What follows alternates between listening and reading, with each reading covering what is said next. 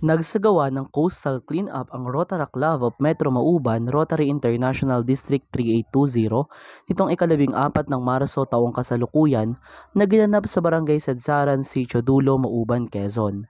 Katuwang sa nasabing aktibidad ang mga pili at pawang maubaning mag-aaral ng Southern Luzon State University na nagpapakadalubhasa sa kursong Bachelor of Arts in Psychology na nasa unang baitang bilang parte ng kanilang requirement sa National Service Training Program 2 Civic Welfare Service Training.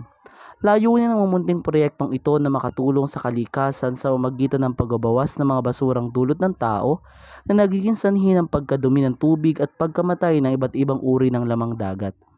Bago formal na isagawa ang paglilinis, nagkaroon muna ng dagli ang oryentasyon sa lahat ng kalahok patungkol sa misyon at esensya ng proyekto sa pangunguna ng RAC President Binibining Malayka Chen. Nilinaw rin sa orientasyong ito na pawang mga plastik o ibang bagay na hindi nabubulok lamang muna ang kanilang kukunin sapagkat ang mga ito lamang naman talaga ang may malaking banta ng panganib sa kalikasan.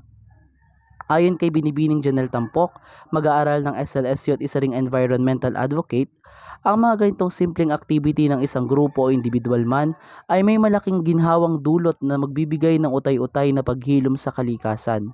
Dagdag pa niya, responsibilidad din ng mga kabataan katulad niya na patuloy na mahalin at ingatan ang kapaligiran dahil una, ito ay dakilang biyaya mula sa Diyos at ikalawa, ito'y patuloy na magiging pag-asa ng mga susud pang henerasyon.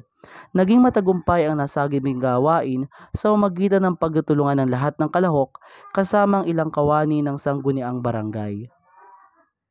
Ito po si Richmond V. Banaag, ang kalikasan ng mauban, nag-uulat.